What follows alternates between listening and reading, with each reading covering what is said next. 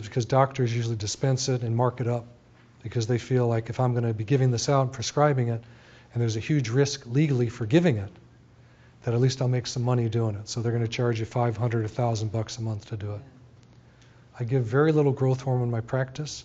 I think I may have two people on it right now. Growth hormone is a great thing when used properly, but the best way to do it is to actually get an arginine stimulation test. We take arginine, instill it IV, which stimulates the pituitary to produce growth hormone because it only has a, a half-life of about 10 minutes in the blood. So you give the stimulation test, you check your blood a few times over a couple hours, and you see what the actual growth hormone level is. Very few docs do that.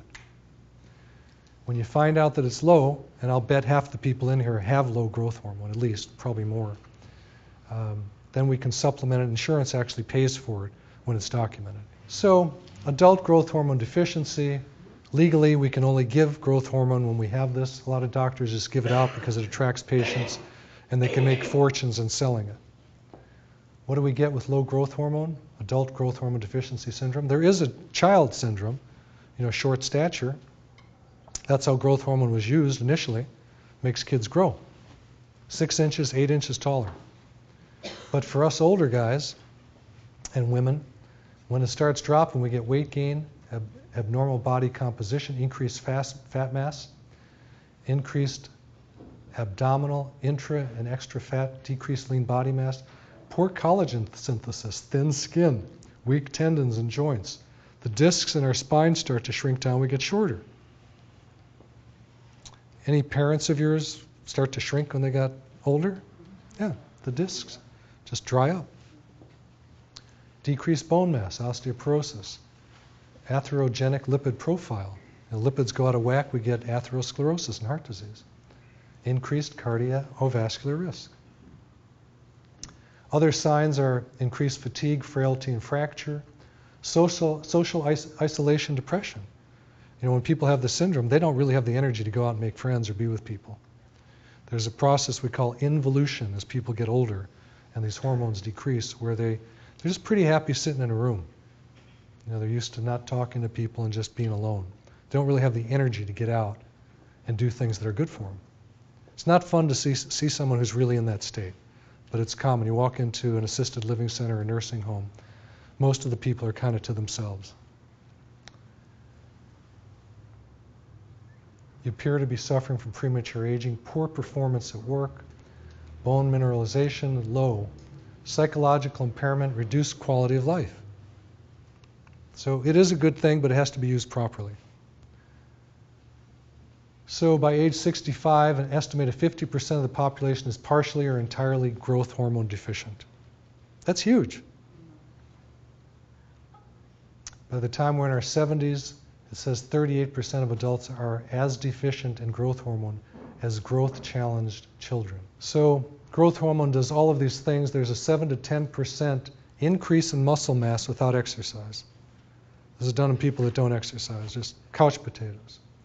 Also, at the same time, decreased fat mass 10 to 14% within six months of therapy. It's not because people are out changing their nutrition or exercising more, it's just the growth hormone does that.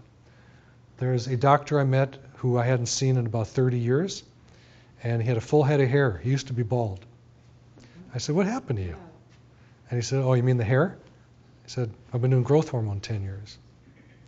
I don't find that common, but you do see things like that happen. There's a reversal, it seems, in aging. Accelerated wound healing. Orthopedic surgeons are now using growth hormone and testosterone after surgeries. Very smart because it increases the healing response. Increases immune system function. There's been cases of actual regrowth of the thymus gland, which is, you know, when we're young, the main immune function we have. Improved sleep, improve vision, improve mood. How many people want it? Yeah. Improvement in cardiac function.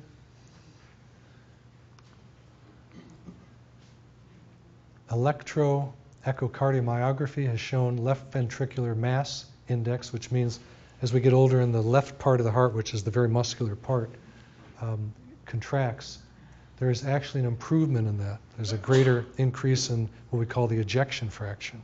So the heart remodels itself. It's one of the safest drugs we have. The doctors I know that dispense it have never had a cancer from it. Now you'd think growth hormone equals cancer, right? If there's a cancer, it's going to grow. Not necessarily. Nine months of growth hormone treatment reduced total body fat and resulted in a specific and marked decrease in both abdominal, subcutaneous, and visceral adipose tissue. Moreover, increase insulin sensitivity. That means you don't need as much insulin to get the job done, to get the, sh- the sugar in your system into the cells to create energy.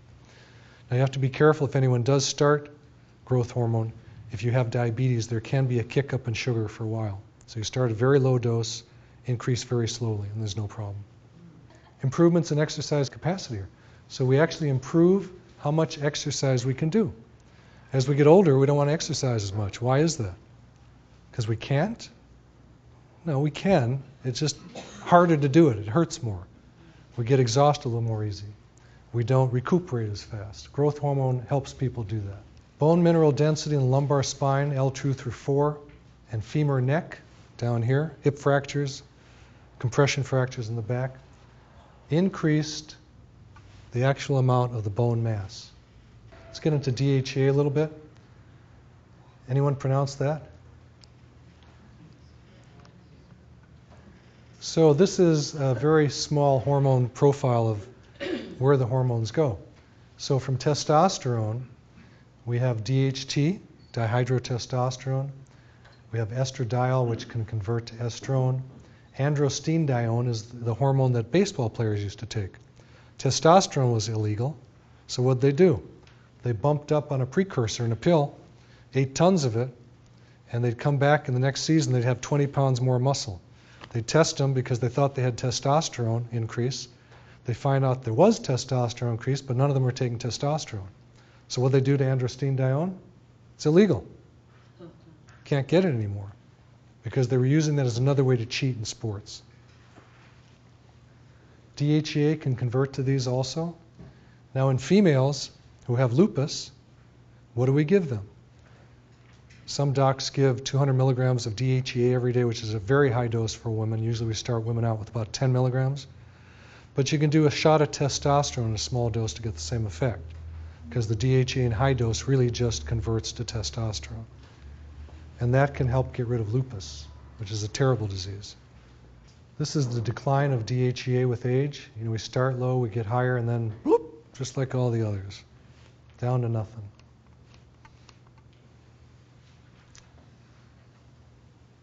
So the decline in DHEA concentrations with aging led to the suggestion that DHEA sulfate, that's that little s, can play a role itself in being implicated in longevity, also involved with excellent immune function.